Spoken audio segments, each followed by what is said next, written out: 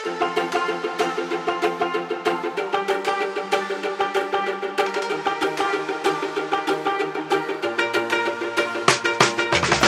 tenker sikkert på det siste som har skjedd. På alt det der triste som har skjedd. Og sånn kan livet være.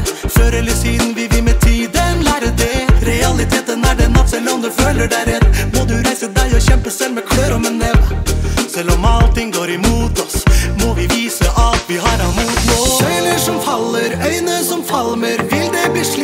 før? Vi finner trøst i regnbuens farger, mennesket er i nød. Men det vil bli om vi vil, kan det bli sånn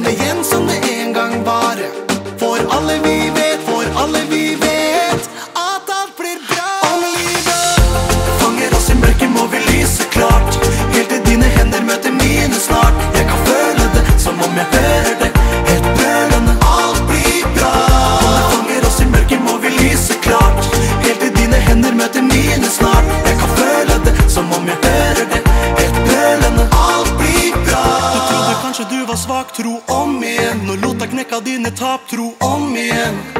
For når lyset svinner, tenner jeg håp i deg til lyset finner frem. For hvis du lar meg slippe til, så kan du føle deg trygg. Jeg vil alltid være der for deg og backe din rygg. Selv om allting går imot oss, må vi vise alt vi har av mot nå. Søyler som faller, øyne som falmer, vil det bli slik som før? Vi finner trøst i regnbuens farger, mennesket er i nød. Vi vil, kan det bli sånn igjen som det en gang var. For alle vi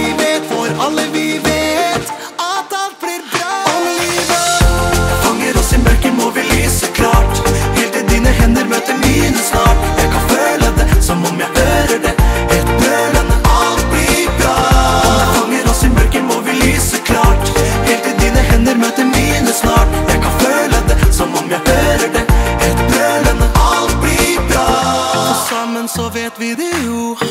At alt det vi trenger, er tro. Og sammen så vet vi det går. For alt blir bra. Og sammen så vet vi det jo.